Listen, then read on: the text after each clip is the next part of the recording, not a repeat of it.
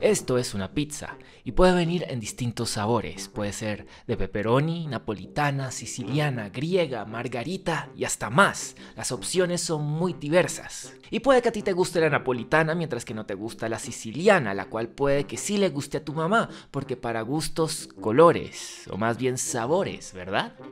¿Verdad? A menos de que estemos hablando de la pizza con piña, porque si te gusta este sabor, tienes que estar preparado para vivir con el hecho de que hay miles de personas en este planeta que opinan que tienes mal gusto. Y no porque te guste un tipo de pizza que a ellos no les gusta, porque esto solo pasa con la pizza con piña. ¿Pero por qué? Todos sabemos que el gusto es algo subjetivo y que a todos nos gustan cosas distintas, pero al mismo tiempo tenemos la idea de que hay gente con buen gusto y gente con mal gusto, y muy rara vez nos detenemos a preguntarnos qué significa tener buen o mal gusto. Las primeras veces que escuché que alguien tenía mal gusto fue cuando era niño y creciendo me di cuenta de que generalmente los adultos al usar este término se referían a las decisiones estéticas tomadas por la gente inculta, que también es un término que merece mucho la pena cuestionar. Y otra cosa que iba notando es que las cosas consideradas de buen gusto generalmente costaban más y eran más finas o eran de lujo. Había ciertas marcas y estilos que uno relacionaba con buen gusto y otras con mal gusto.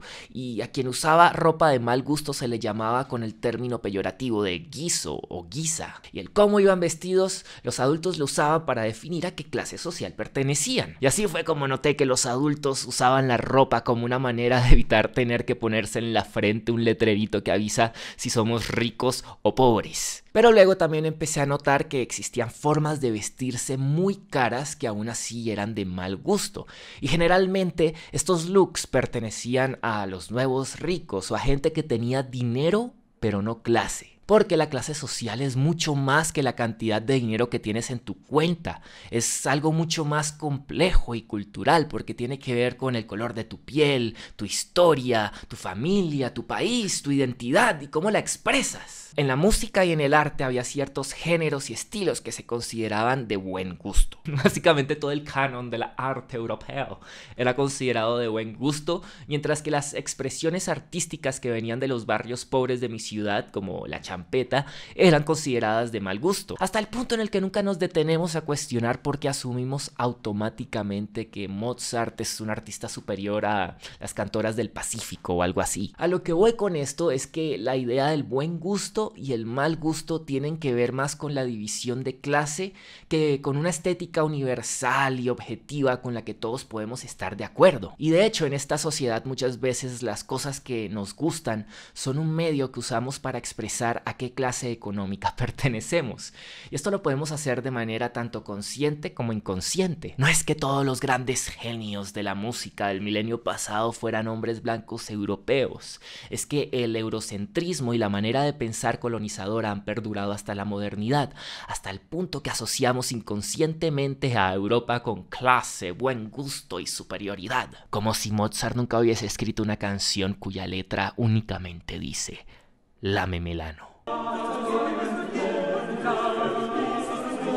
Desafortunadamente, en el arte la diferencia de clases es muy marcada, hasta el punto en el que hemos decidido dividir a la cultura en dos. Por un lado tenemos a la alta cultura, con artistas como Wagner, Van Gogh, Beethoven, William Blake, Mozart. Y por el otro tenemos a la baja cultura, con gente a la que ni siquiera consideramos artistas, sino que usamos el eufemismo de entertainers, con gente como Maluma, J Balvin, Justin Bieber o One Direction, que hacen música pero que no es arte. Entonces no los podemos juzgar con la misma vara. Y yo no sé ustedes, pero yo he escuchado muchas veces a gente justificando la mediocridad de ciertos cantantes, diciendo que es que él no es un artista, él es un entertainer. Y al hacer esta división entre las bellas artes y el entretenimiento del pueblo, de la chusma, que ni siquiera consideramos arte, estamos perpetuando la falsa idea de que la gran mayoría de la gente no es capaz de disfrutar del buen arte, por lo que al mismo tiempo estamos justificando la existencia de grandes empresas de entretenimiento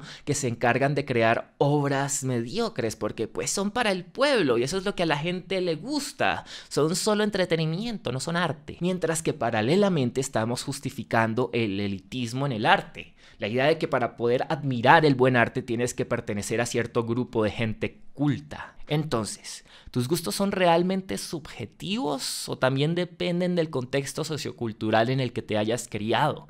No dependen del país o la época en la que naciste, de la cultura que te crió, de tus padres y la influencia de tus amigos.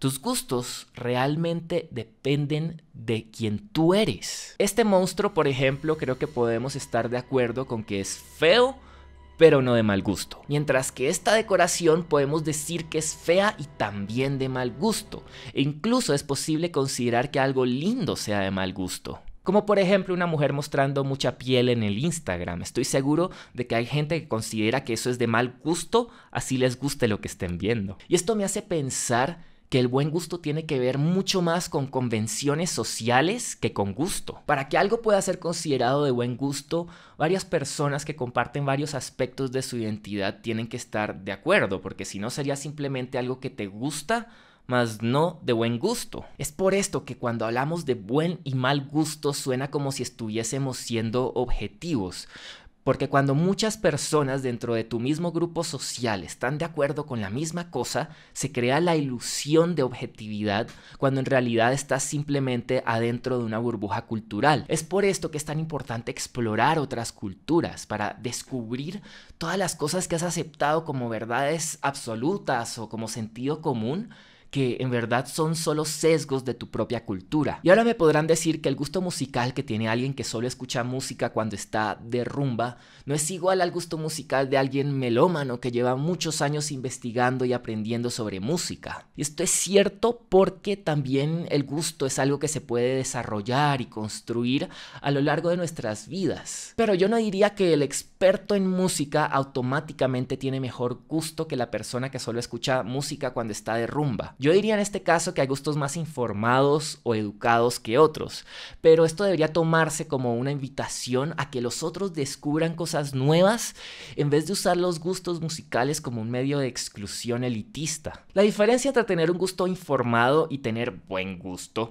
es que el gusto informado no se limita a lo que tu grupo social considera como bueno aceptable, sino que se esfuerza por explorar lo desconocido y encontrar cosas que enriquezcan tu vida independientemente de cómo te van a percibir las otras personas dentro de tu grupo social. Por lo que es posible que un gusto informado muchas veces tenga interés incluso por expresiones artísticas que ofenden o van en contra de las normas sociales de tu propia cultura. Y creo que aquí radica la diferencia entre la gente que va a la ópera porque de verdad les gusta la ópera y la gente que va a la ópera como símbolo de estatus. Porque la gente obsesionada con el buen gusto generalmente es la misma gente que usa el arte como un símbolo de estatus. Oh, mírenme, qué sofisticado. Escucho las estaciones de Vivaldi mientras que puedo recitar escenas enteras de obras de Shakespeare. Oh, mírenme, pagué 500 mil dólares por un cuadro de un artista que se hizo muy caro gracias a las estimaciones de un montón de gente que se dedica a lavar dinero en galerías de arte. Porque hasta que tengamos acceso a la misma educación de alta calidad, igualdad económica y de derechos y hasta la misma cantidad de tiempo libre, me parece que hablar en términos de buen y mal gusto es una manera de perpetuar la idea de que existe una cultura superior a otras. Y la cultura que generalmente se percibe como superior es la que pertenece a la gente con poder. Entonces, los gustos no son ni buenos ni malos. Lo que sí son es reflejos de nuestra propia identidad. Así que no dejemos que la gente con poder moldee nuestra identidad dictando lo que nos debe o no nos debe gustar porque eso también es una forma de dominación. Aunque tampoco estoy diciendo que no deban o no puedan tener opiniones sobre arte y criticar ciertos tipos de música, porque claramente yo no estoy en contra del criticismo en el arte. De lo que sí estoy en contra es que un grupo social se ponga de acuerdo con lo que consideran aceptable y luego confundan esos acuerdos con la idea de que están siendo objetivos, creando así esta ilusión de que hay algo que existe que puede ser llamado buen gusto, cuando en realidad tratar de ser objetivos al hablar de arte es como tratar de lamer tu codo. Es imposible. Creo que si podemos resumir lo que estoy tratando de decir en un punto conciso, es que si te gusta la pizza con piña, eres un monstruo degenerado, sin papilas gustativas que no merece vivir. Eso es todo por hoy. Adiós. No olvides suscribirte dando clic en la campanita y también quiero contarles que estoy haciendo directos todos los lunes, miércoles y viernes a las 5 de la tarde. Y los domingos estoy desde las 3 de la tarde, hora colombiana. Estoy reaccionando a la música que ustedes me mandan, de bandas que les gusten o de sus propias bandas. Estamos escuchando música y ese tipo de cosas. Y lo estoy haciendo por Buya, que es como Twitch, solamente que puedo poner música sin meterme en problemas con cosas de derechos de autor. Entonces nos vemos por allá y eso es todo. Bye.